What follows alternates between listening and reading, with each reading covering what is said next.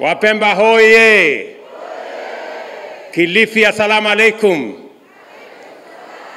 Bwana Yesu asifiwe.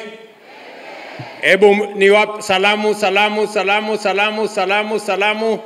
Asanteni sana ndugu zangu, watu wa Kilifi. Kwanza wacha nichukue nafasi hii nimshukuru Mungu ametupatia nafasi, tumefika hapa Kilifi siku ya leo. Tumefika hapa katika shughuli ya muhimu sana. Ndugu zetu ambao wameishi pamoja na sisi kwa miaka tangu tuwe taifa huru, wamekuwa wanaishi hapa bila ya uraia, na kwa sababu hiyo wamepitia mambo mengi magumu. Leo mimi nafurahi kufika Kilifi na kuwajumuisha Wapemba kuanzia leo sasa watakuwa raia wa taifa letu la Kenya. Pongezi ndugu zetu Wapemba, nyinyi mmechangia sehemu kubwa katika maendeleo ya taifa letu la Kenya.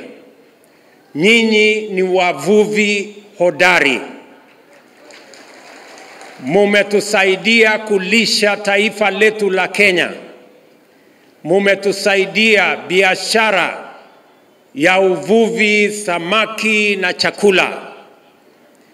Mimi nataka niwashukuru sana kwamba mbali na kukosa uraia, muliendelea kuchangia katika maendeleo ya taifa letu la Kenya. Ndio sababu leo tumekuja katika komba, kongamano hili tukubaliane sote, na mbele yenu nimetia sahihi mkataba ambao utawafanya muwe raia wa taifa letu la Kenya. Nasema pongezi.